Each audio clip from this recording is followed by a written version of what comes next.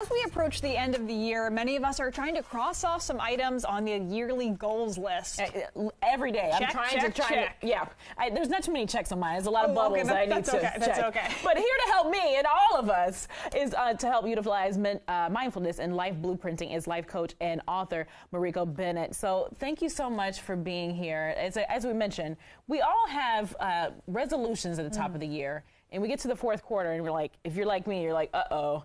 Yeah, like, I, I should have crossed more things off. What is your advice? And first of all, what is mindfulness and how do we use that? So mindfulness is the first step, I feel like, in terms of uh, crystallizing and manifesting your visions and your dreams. Um, but it's a centering and it's really being present with yourself. So when you talk about goals and priorities and the fact that we're at the final quarter and like you're like, have I manifested all of the things that I envisioned for myself? Uh, and you're not there yet. That's okay. We still have time, right? It's three more, Yes. you know. So, but I also I also tell people that if you are tracking and monitoring along the way, you will get a lot closer to those goals, and it's not a mad dash at the end to try to finish it all up. Smart. Right. What are your thoughts on kind of New Year's resolutions or end of the year goals or, or that kind of um, mindset? Yeah, I, I believe in them, but I, I'm a goal setter, right? I'm a dream catcher. And so I believe that, um, you know, resolutions and intentions um, are important, but the execution is what really matters, right? And so um, we start with the vision, right? We start with what do I see for myself? What do I want to be when I grow up? What aspirations or hopes or dreams do I have? Uh, and then you have to goal set, and then you have to action plan, and then you may need some accountability partners, right? Yes. To hold you accountable, so you're not at the final stretch talking about, oh no, uh, I got to get this done. I promised this to myself at the beginning of the year. Um, and so that's how you actually can reach full manifestation on these dreams, these aspirations, these resolutions that you set for yourself. Love that. Yeah. And you've not only worked with individuals, you've worked with companies to help people, um, companies grow and also uh, reach those goals. Tell us more about that and how you help companies in that way. Absolutely. So, um, and we've worked, we've been blessed to work with some of the biggest companies in the world, some of the largest nonprofits in the world. We're really excited about the fact that we're helping our returning citizens now. Um, we're helping students, parents, and school leaders, and teachers. Uh, and so, uh, what does that work look like? It looks like strategic planning, but in your personal life. So, you all have KPIs, you have deliverables and goals, and you have to meet with, you know, your managers on a quarterly basis to figure out how you're tracking. Well, we help you do that um, professionally and personally. And so, I really want people to be thinking about: Am I strategic? You know, am I having strategic plans for my life? Uh, and we coach in the seven life focus areas. So we have to have that for social too. Yeah. You got to have fun, right? You Right, can't just yes. work all the time.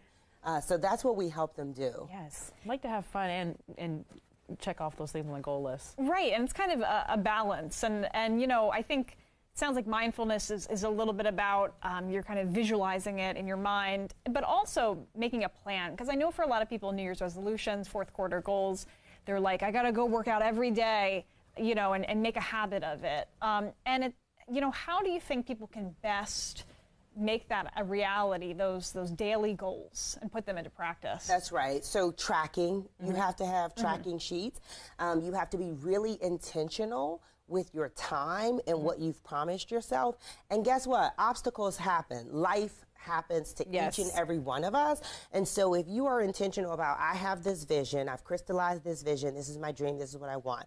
And then you customize a plan. So we coach in the four C's, right? And then you cultivate, meaning you're doing the work, and you're curating, which means that you are fine tuning, tracking, and assessing progress along the way. Those are your four C's. That's how you'll actually be able to fully manifest. Um, but you also, back to our mindfulness, and one of the things we're going to talk about and do today um, is that you do need to be present. You need to take the time to be centered and to focus uh, and all the distractions because this we are just come on now Listen. amen We're corner distracted. amen corner Yep, um, we are distracted by so many things and so to be present with ourselves is super critical and important Well, you mentioned it. Let's go ahead and jump into it now. We want to do a mindfulness exercise with you now. All right. Well, I'm excited about it. Um, so um, I did bring a room spray too. I'm gonna do Oh, it just yes, because. yes, yes. Yes, Uh, okay. please. Yeah. So I'm all about. So we have. So we customized this scent. Ooh. Oh, nice. Mhm. So it's nice. a blueprinting custom scent. We worked with Lola with Oasis Soul, shout out. Uh, and this is the first part. So we're going to close our eyes. We're going to take a very deep breath, and you're going to inhale that in. And we are going to start the first phase of crystallization. So I want you to start thinking about, we talked about balance earlier, and we look at the seven life focus areas. So physical body, deep breath in and out. You look and you feel good. Mindset, your energy is infectious and positive. Your finances are growing exponentially. Deep breath in out. Your relationships with your family and friends, your bond is stronger than it's ever been before. Social, you are traveling the world, enjoying blue water, white sand, hanging out with friends, brunching. Spirituality, you are feeling as though you are living out your life's purpose. Deep breath in and out. And we're going to open our eyes. What did you visualize? What did y'all see? I'm on the beach.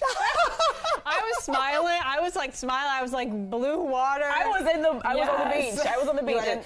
Wanna- so you that's said the finances. I was Okay. You said finances. I was a rich lady on the beach. I was like Yeah. the Monopoly man on I had- like, or Scrooge McDuck on like a, on a, a big pile of money. I, I wanted to stop. I know I didn't have time. I would have walked you through career, etc. Yes, but we already yes, talked finances, and so um, one of the things when you are sitting in that moment and you are crystallizing vision and being mindful.